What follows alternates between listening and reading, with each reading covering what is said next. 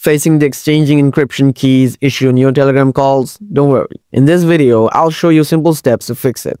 This error typically points to a connection, app settings, or server problem. I'll walk you through all the solutions to resolve it. Let's dive in. Solution 1. Disable P2P or peer-to-peer -peer calls. Launch the Telegram app on your device. Tap the three horizontal lines in the top left corner.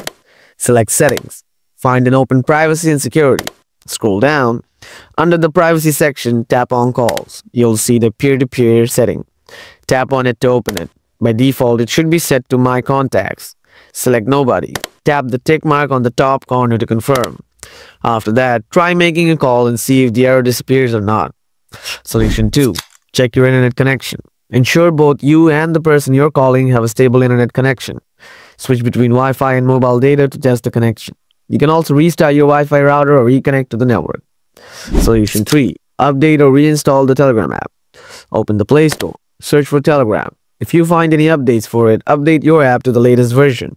If there aren't any updates, simply go to your app gallery. Tap and hold the Telegram app icon. Tap uninstall and confirm the action. Telegram will be uninstalled after this. Now go to Play Store again and reinstall the Telegram.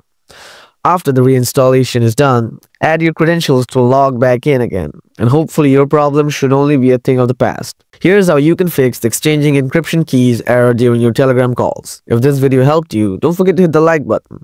If you're still having trouble, leave a comment, and I'll do my best to assist you.